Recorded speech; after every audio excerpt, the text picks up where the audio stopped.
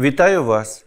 Я Володимир Додь, і тема заняття нашого сьогоднішнього система органічного світу як відображення його історичного розвитку і принципи її побудови. Розвиток життя на землі рано чи пізно змусив би людину знайти підходи до розуміння всього того різноманіття живого світу, процесів, які в ньому відбуваються. Тому система це сукупність, єдине ціле, що складається з окремих частин. Окремими частинами цієї системи являються і живі організми. Біологічна систематика це наука про класифікацію організмів, тобто групування явищ і фактів за їх подібністю і спорідненістю у підпорядковані категорії. І будь-яка систематика, будь-яка класифікація це початок створення нової науки. Тому що будь-яка нова наука розпочинається із накопичення фактів. Коли таких фактів стає багато, вони досягають певного об'єму, то, звичайно, потрібно їх класифікувати для того, щоб розуміти, що відбувається зараз, прогнозувати процеси на майбутнє і передавати ці знання з одного, від, з одного покоління в інше, від одних людей до інших, і використовувати ці знання в своїй діяльності. Тому завдання біологічної систематики це побудова системи органічного світу. Тобто всіх сукупності видів організмів, які живуть або жили на землі, тобто врахування врахування і викопних решток, і організмів, класифікованих за певними принципами.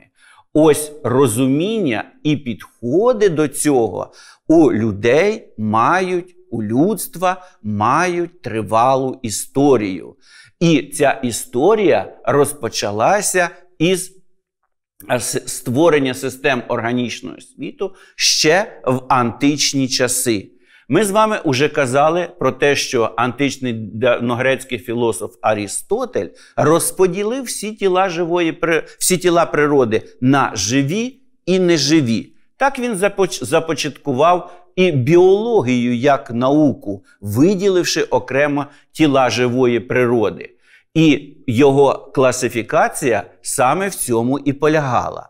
Крім того, він пішов і далі. Він спробував класифікувати 454 види тварин. Це той час, за 300 років до нашої доби, було дуже і дуже прогресивним і важливим. Крім того, він і до зоології багато, як бачимо, е, доклав зусиль для розуміння процесів, тому родоначальник зоології. Що стосується пізніших розробок, які дійшли до середньовіччя і до 18 століття, то ми згадуємо шведського природодослідника Карла Лінея. Саме він є розробником системи організмів, не будь-якого хаотичного, а не і е, об'єднання організмів на якійсь одній штучно взятій е, основі. А він перш е, саме розробив систему організмів. І кількість видів, описаних ним, сягає 4208. Заслуги ж Карла Лінея в систематиці, в систематиці наступні сформулював поняття вид як сукупність організмів, подібних між собою, як подібні діти одних батьків і здатних давати плідне потомство. Так, на е, час Карла Лінея звучала його думка про вид. Він же автор подвійних або бінарних латинських назв видів організмів. Причому це використовується і зараз. І ми з вами дуже добре це знаємо, розуміємо. Перше слово в назві органі... виду організму це видова назва. Вона е, є е, вона, вона є якраз особливістю роду, назва роду е, даного організму. Друге, друге родова. І застосовуються ці назви у всіх країнах світу, незалежно від того, як е, як би не називався вид організмів в певній країні, на будь-якій із мов цієї країни, але латинська назва, бінарні назви, тобто родова і видові назви, є обов'язковим. Це також важливо і в медицині, і зберігається цей принцип дуже і дуже суворо, тому що від цього дуже часто залежить е, і життя людини. Системи класифікації Карла Лінея наступні. Він створив штучну систему класифікації на основі подібності організмів за одиничними ознаками. Тому така система і носить назви штучної, тому що таких ознак є багато, і кожен е, міг би свою створити класифікацію. Він же автор ієрархічної системи чотирьох супідрядних категорій. Він постарався об'єднати види в роди, роди в ряди, ряди в класи із найменуванням вищого таксону е, за рід тільки одним словом. Якщо видова подвійна, то родова, рід, ряд і клас є одно, назва складається з одного терміну. Особливості ж природної системи класифікації організмів мають свої, свою специфіку, і вона є єдиною для всіх учених, які стають на шлях розуміння цих процесів або доповнення, чи створення, чи певних змін, які в неї вносяться. Перше, заснована вона на філогенетичній спорідності організмів виходить все, все з того, що був предковий організм, який дав початок іншим організмам, і е, вони, в свою чергу, дали початок іншим. Тобто, це якраз показує наступність того, як розвивалися організми. Подібність організмів доводять, доводять лише з врахуванням комплексу різноманітних ознак. Ми тільки що з вами казали про одну окремо взяту. Це штучна система. Якщо це комплекс ознак, не одна, дві, їх три, можуть бути й десятки, тільки тоді ми можемо об'єктивно наблизитись до розуміння тих чи інших явищ. І обов'язковим є врахування даних палеонтології. Воно перегукується, звичайно, з філогенетичністю. Використовуються дані досліджень мінливості молекулярних структур. Це сучасні методи, які дуже формально, але дуже точно і однозначно розв'язують ті чи інші спірні питання, яких не можна навіть в сукупності в комплексі ознак зрозуміти. Принципи побудови системи органічного світу є наступними. Перший філогенетичний природна система органічного світу може бути тільки одна. Якщо це об'єктивно, то ніяких інших тут не може бути думок повинна ґрунтуватись на спорідненості і мати під собою генетичну основу. Тут ми з вами виходимо із висловлювання Чарльза Дарвіна. Він казав: будь-яка справжня класифікація є генеалогічною. Знову ж на часи Дарвіна дуже актуальна і зрозуміла навіть зараз ця думка. І відображати еволюційні зв'язки між організмами.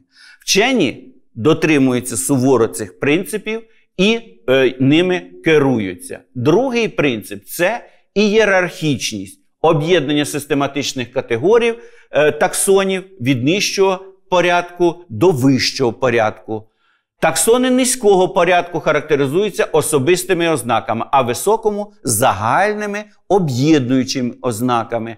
Е, хоча може в таксонах високого порядку бути всього один вид, але тим не менше такі таксони є і вони існують. Основні таксони тварин нам з вами ми з вами знаємо. У е, найвищий після царства тип.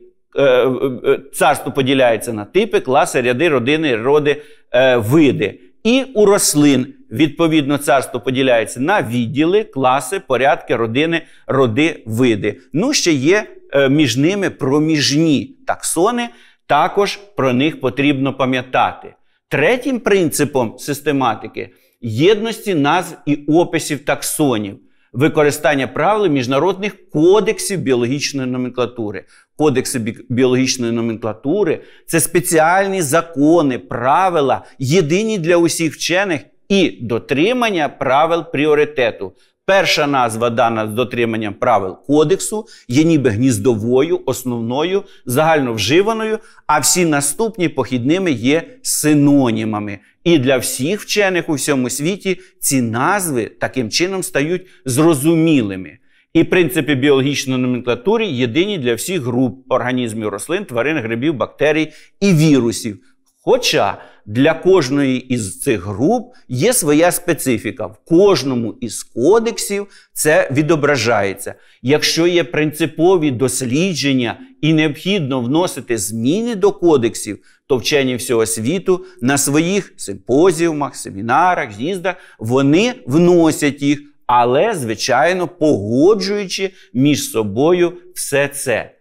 Сучасна ж система органічного світу виглядає наступним чином. Ми з вами бачимо, що імперія клітинних організмів поділяється на надцарства доядерні або прокаріоти, ядерні еукаріоти. В свою чергу на царства на, на, Наприклад, прокаріот поділяється на царства археї і еубактерії. Ми з вами знаємо бактерії ціанобактерії, таку назву.